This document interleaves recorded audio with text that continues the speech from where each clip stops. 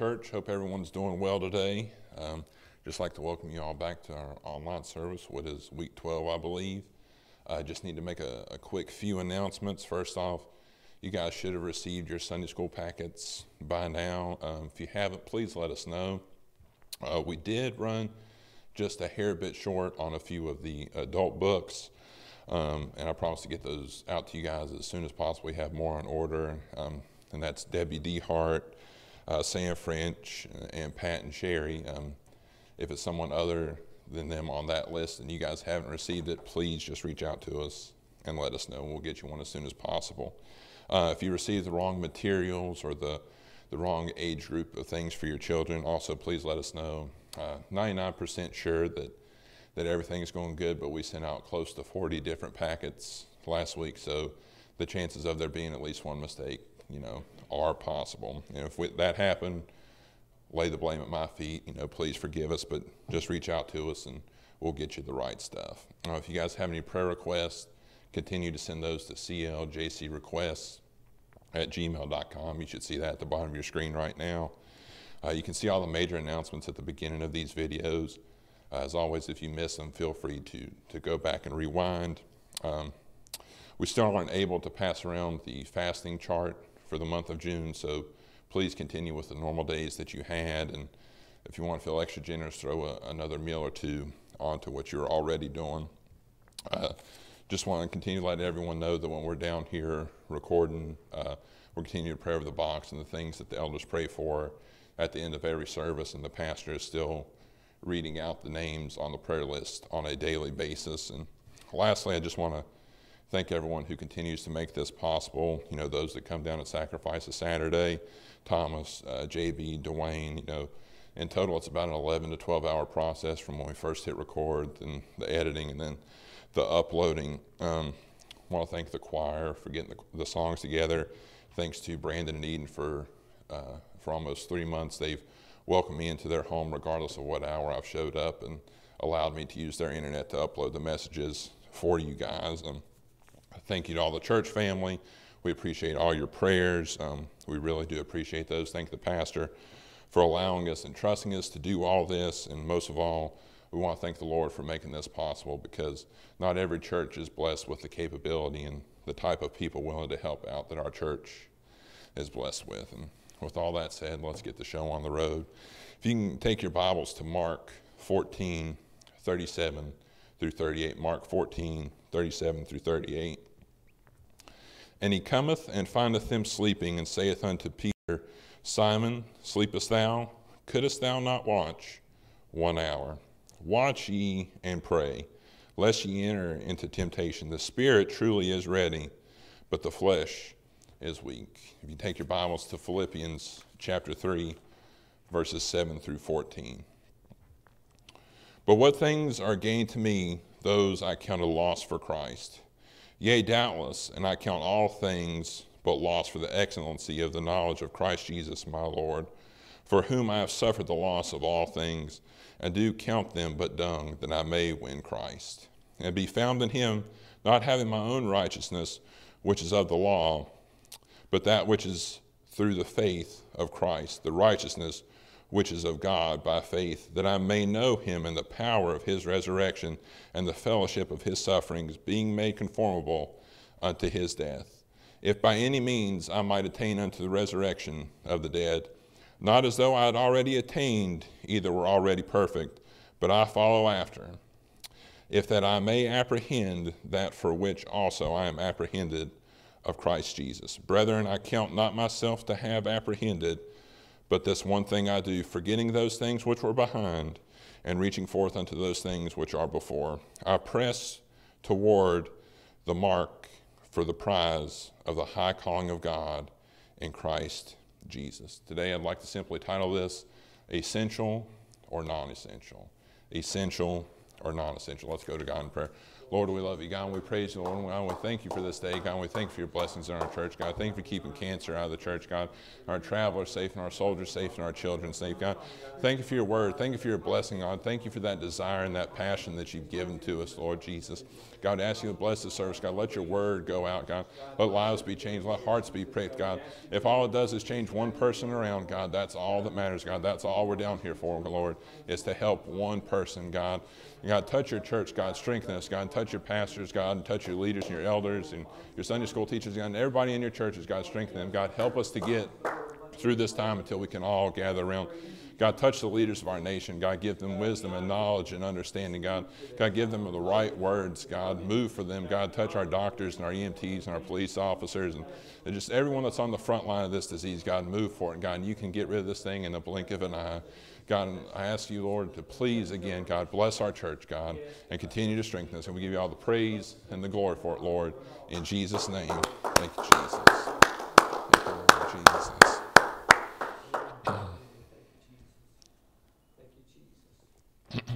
Excuse me. When the government shuts down over things like the debt ceiling, like we've seen so many times in the past few years, you know, workers are classified by the government as essential or, or non essential.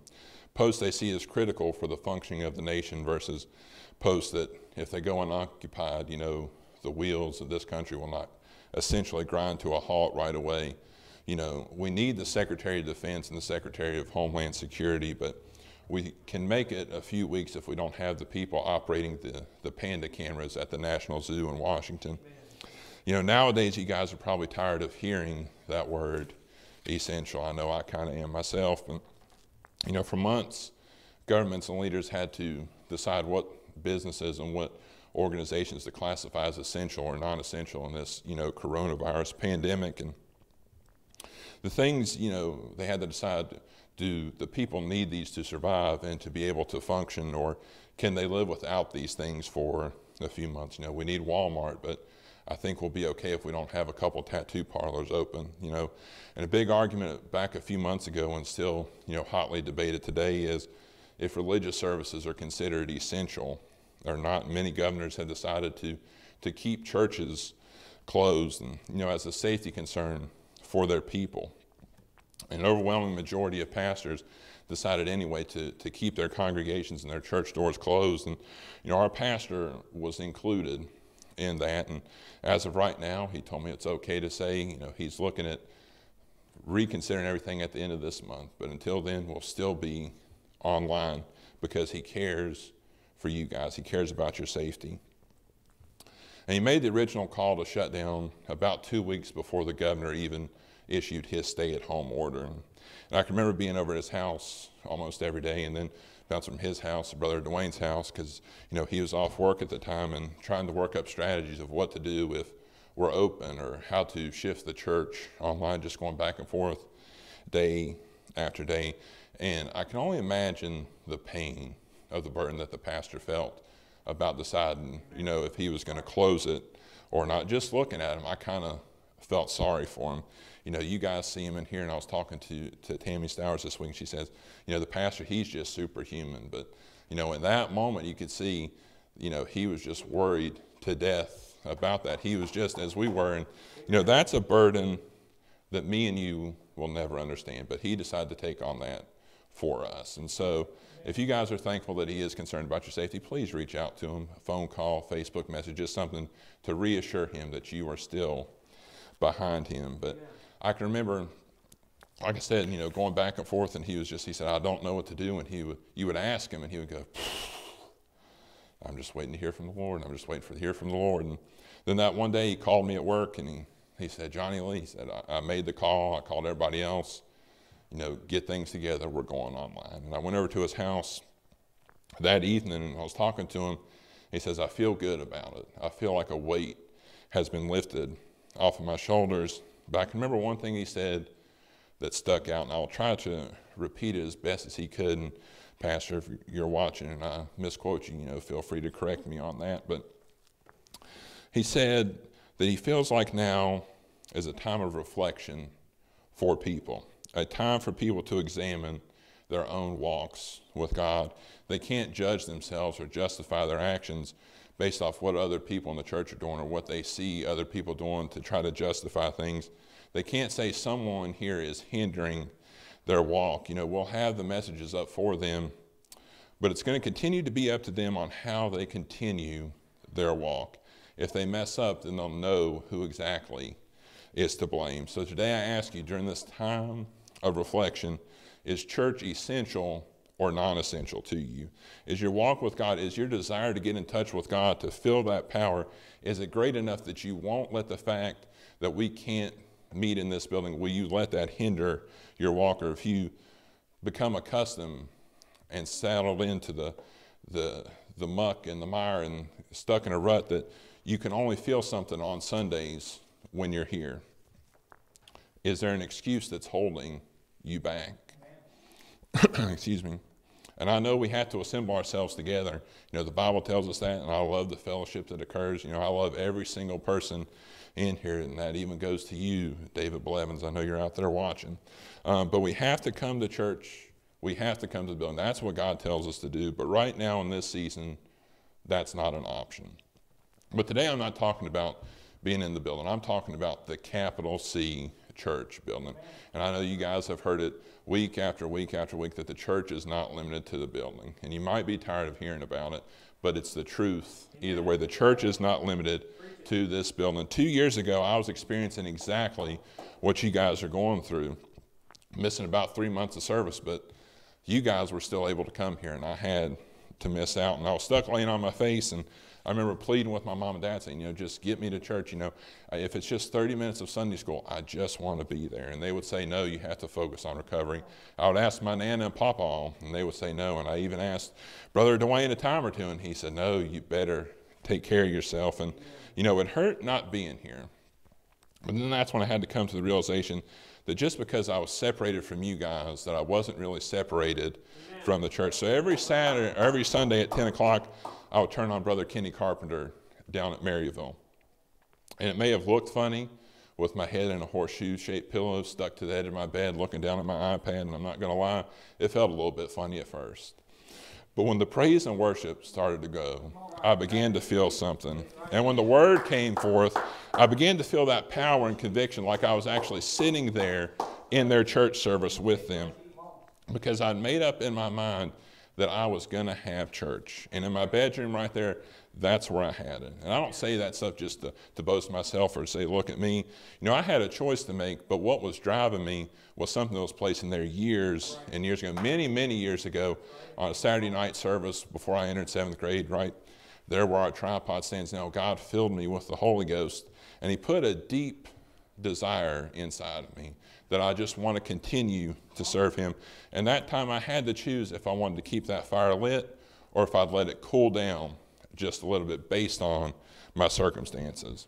But I thank God He put that love and that desire for Him inside of me that I kept persevering no matter what happened. I stayed committed to my walk. Paul says in Philippians 3 and 14, I press toward the mark for the prize of the high calling of God in Christ Jesus.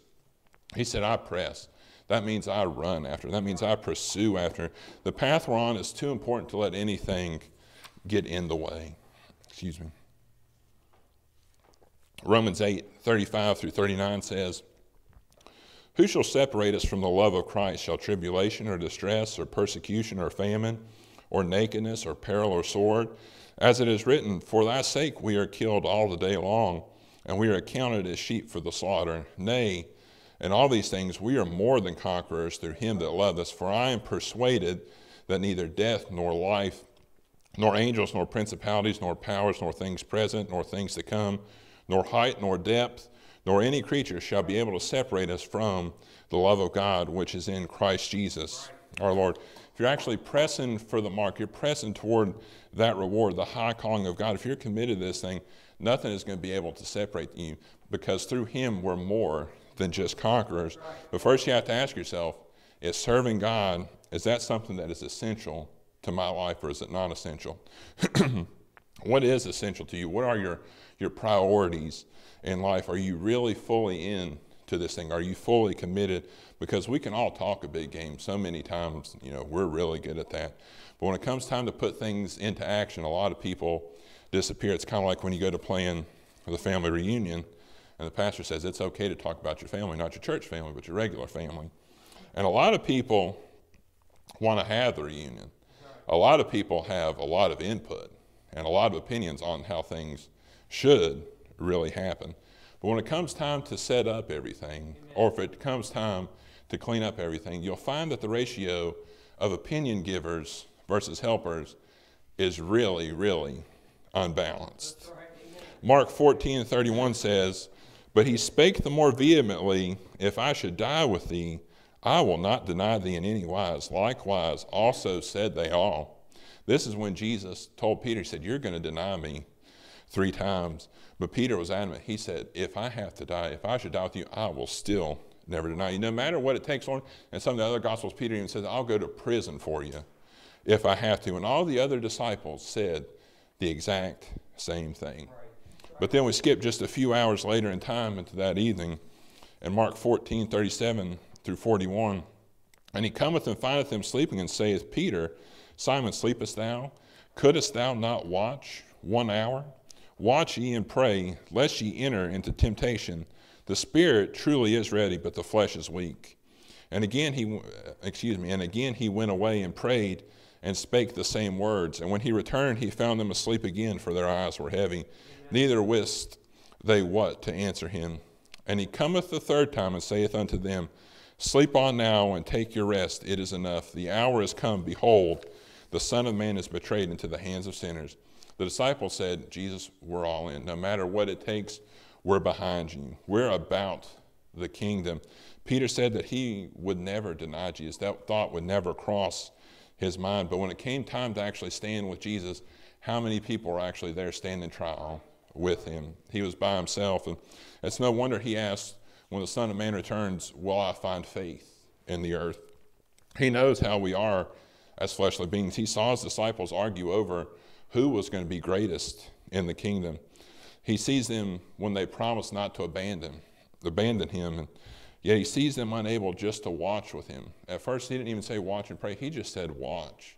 He says, guys, look out for me. But they couldn't even do that for one hour in the garden. And three times he found them asleep. And no doubt the pain that it caused him to see these people who claimed to be his friends who were letting him down. And we're guilty of the same thing sometimes people will say church is, church is really essential to me. Church is what I'm all about. But our actions don't always show that. And I can imagine the anger that God must feel towards us when we say things like that, but he sees our actions. You know, people say, I'm, I'm committed to church, but God's sitting there wondering, well, where are you on Tuesday night at ladies service? Why aren't you showing up to Wednesday at choir practice? Why, eh, if you want your kids involved in this, why aren't you bringing them to youth service? Why aren't you sitting down here at adult Bible study? Where are you on Saturday night service when we have more guests than we have regular church members? Are you really committed to this thing? You say that you want prayer and Bible back in the schools. Well, you've had your kids teaching them at home for three months. How many of you opened up the day with prayer or opened up the day with reading your Bible? We'll spend seven hours driving to the beach. When was the last time you spent 30 minutes praying for your pastor and the strength of the church? We'll spend six hours to go to Christiansburg to drive and go out and eat and watch a movie. But when was the last time we put that much time into praying for our lost loved ones to get them back in? You know, are the things of God really essential in your life? Or are they just like the non-essential worker? They there, they're there, they serve a purpose, but when things get hard and times get tough, you cast them to the side because you have priorities on other things. You know, parents, is it essential that you teach your children the word? Deuteronomy 11, 18 through 19 says, Therefore shall ye lay up these my words in your heart and in your soul, and bind them for a sign upon your head, that they may be as frontlets between your eyes. And ye shall teach them your children Speaking of them, when thou sittest in thine house, when thou walkest by thy way, when thou liest down, and when thou risest up. Are you praying with your kids daily? Are you making sure they're studying the Word? You know, I've been teaching Sunday school for eight years now, so I know just a couple things, but I know enough to tell you that our job is not to be their main teacher. We're there to help you, we're there to be your aid. And the main source comes from home. We get them once a week maybe for 40 minutes a week. In a year's time, that's less than 36 total hours. That's like a day and a half out of 365 days. They need more than that if you want them to grow, if you want them to prosper in church. You wouldn't expect them to pass high school or graduate college with just a day and a half worth of training. And I don't know if I would be up here if my parents hadn't taught me. You know, I, I didn't know things, but they helped me learn. I can remember one time I was probably about six or seven years old, and we were leaving church. I know the, uh, the pastor of the church we were at just preached a message about, you know, people needing to be prayer warriors. And I remember pulling out of the church parking lot and I said, boy, I don't want to ever be a prayer warrior. And my mom turned around and said, why, why would you say that? And I didn't understand. I said, well, I said, whatever it sound, whatever they have to do, it sure just sounds like a lot of work. You know, I don't know what they're doing, but it's a lot of work. So then my parents had to explain to me the importance of why being a prayer warrior, you know, is needed in the church. And then after that, a year or two later, I can remember starting to feel the pull of God, you know, and starting to realize I needed to do more in church versus just sitting there and, you know, playing with my toys. And that I needed to get involved. And y'all forgive me if I've told this story before, but I really wanted to pray. I felt that need to pray, but I didn't know exactly what to do. So I went to my mom and I asked for help. And she grabbed my hand and said, Just pray what I pray, repeat what I repeat. And that night was when I first started learning how to really how to pray because she saw that teaching me how to have a prayer life was essential in her role. Parents, please get involved with your kids. Don't just assume they're reading and they're praying on their own. Actually, get in there with them and do it. The Sunday school lessons we send out, you know, put time and put preparation in that. We do that every Sunday when we're upstairs teaching your kids. So please continue to do that when you're at home. You know, spending time with the Lord throughout the week, is that really essential to you? Or, you know, are you putting the hours of prayer in each week? Are you fasting when it hurts the most or when it's convenient? Are all these things must, absolute musts in your life? We look at people like Daniel who was told not to pray, he knew the consequences of what would happen when he began to pray. Yet he never stopped. He was thrown in the lion's den, but God brought him out. He was devoted to serving God at any cost, no matter what happened. And he tells the king that God shut the lion's mouth because he found innocency or he found purity in him. Second Chronicles 16 and 9 says, For the eyes of the Lord run to and fro throughout the whole earth to show himself strong in, behalf, in the behalf of them whose heart is perfect towards him. If you want to do something for God, if you really want him to use you, then seek after him on a daily basis. Study, pray, and fast. You know, purify your heart because his eyes are constantly searching the earth. He's wanting someone that he can use and someone that he can be glorified in. And what would happen if we each just took time and set it aside each day for the Lord? And I'm talking about tithe and time, something that, that really might hurt our flesh, you know. Now I'm a believer in God wanting us to enjoy the things that He's blessed us with and He's given us things, you know, to use that, you know, we are in, we can enjoy, and there's no problem with that. But problems arise when those things become idols to us, when they become little g gods to us, when we begin to put too much time into it. And there's nothing wrong with your kids playing sports. But when their sports start to interfere with their church attendance, that's when you have a problem. There's nothing wrong with Netflix as long as you're not watching junk. But when you put six to seven hours into that thing in one day, day after day, that's when you have the problem. That can apply to anything, you know, that, that eats up our time. After I graduated high school, I tell my kids in Sunday school class all the time, don't be like me, because I put between 700 and 8 hours, 800 hours into one video game. And now I look back and I'm like, Lord Jesus, what a waste of time. You know, I could have went through the Bible eight or nine times just in that year alone. But I look back and I'm like, what a waste. Because it's so easy to fall into things like that. Now we have a lot more modern technology. And if you guys have smartphones and, you know, you really feel like checking, you can go in your settings right now and see just how much you use your phone throughout the day and which apps really take up the most of your time. And I know I mentioned it last week, but people spend three, four, five hours a day just on social media. Unless that's part of your job, I don't see how you can do that. But we let those things begin to take over and interfere with our lives when we could really be putting that time towards God.